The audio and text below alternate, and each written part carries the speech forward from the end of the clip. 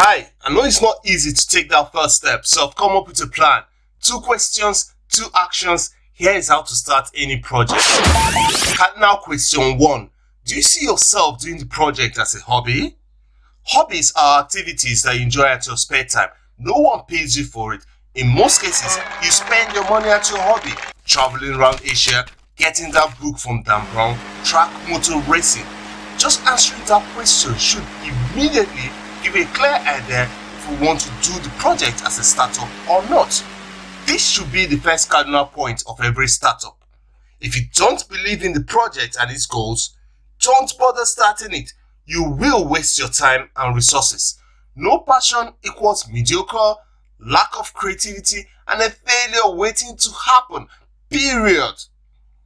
But on the flip side, if you have a passion for the project, then you're closer to discovering innovational ways to invest your time and resources. Your project should feel like you're having fun and getting paid for it. You are a master of your hobby. You have experience at it. You love your hobby. Start a project similar to your hobby and you're on your way to becoming as rich as Mr. PewDiePie. Cardinal question 2. What do you intend to achieve with your project?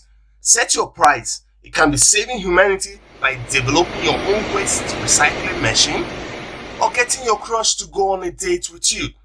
Your price could be anything as long as it's legal. Vividly visualize your price because most times the path to accomplishing a new project may be a tough one. Visualizing your price is what will get you through those hard times.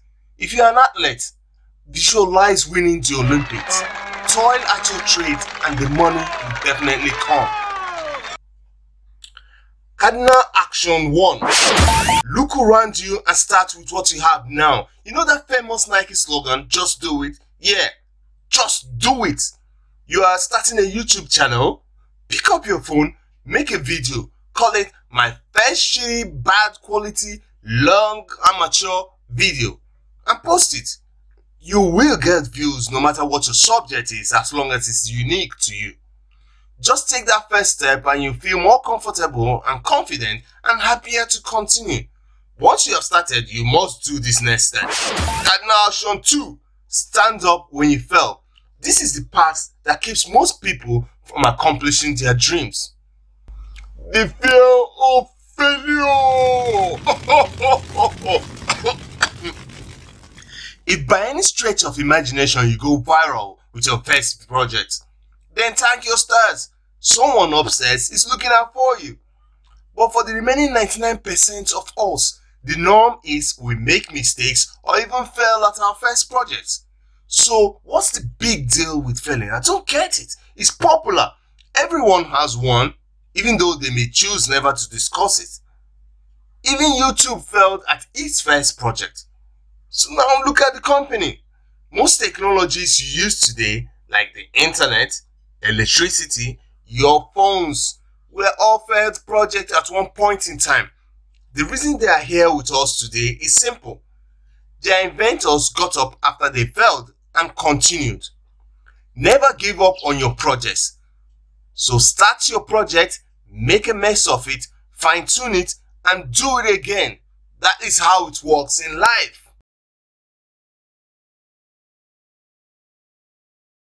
If you want more insight on accomplishments, then grab a book I published back in 2012 with CreateSpace California, USA, titled Accomplishing the Unaccomplished. A thought of how you can overcome the fear of failure and accomplish. I provide four strategies for winning and fictionalize some real life case studies that I've witnessed. It is an important read and I'll leave a link for you in the description box below. If you can't afford it, grab a copy. You don't know how many beautiful dreams remain unaccomplished due to the fear of failure. The world will be a better place if we can all pursue our dreams and have fun doing it. I covered several topics like causes of failure in startups, misconceptions about failure, perfectionism, and the master role of accomplishment. Don't forget to stay tuned by subscribing and turning on your notification. I will regularly adapt theories from the book and apply them to real life situations and post them here on YouTube.